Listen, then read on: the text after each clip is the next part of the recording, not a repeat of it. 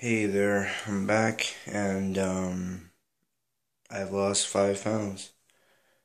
And I'm I, I can't believe it because the first week of month seven I had to sit out because of, um, you know I fucked up my knee, but you know everything went well. Um, I was lifting weights like I said I would, and um, I was more um, focused because you know I'm done with school. I'm graduating, which is pretty cool. Um, you know, um, I got that going for me, and you know now I've lost five pounds. Um, I'm at 222 pounds. I um, when I began, I was 243, so I lost 21 pounds total. So I'm at the 20 mark, which is pretty awesome. Yeah, I, I never thought I would I would actually make it this far without you know, I guess quitting or whatever.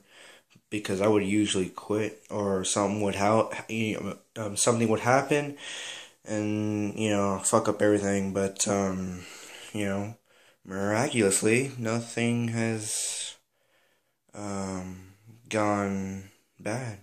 At least you know that you know something that would make me stop completely, or you know like like last time.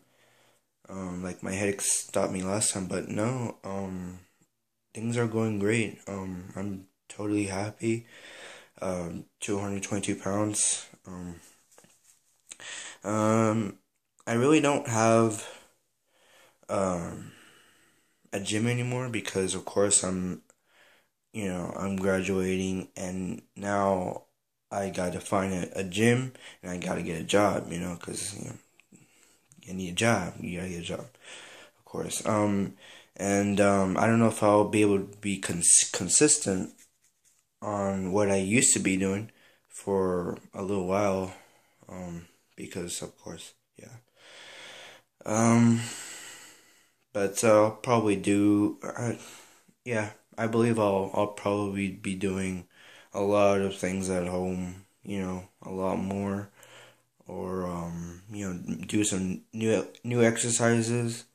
Hopefully that would help um, help out. Yeah, but uh, yeah, it's pretty much it. Um, month seven was a total success. Um, totally happy. Um, hopefully uh, next month uh, I go down more, and one month after that, and the month after that, you know, like I've always been doing. Um, yeah. So, uh, see you next month.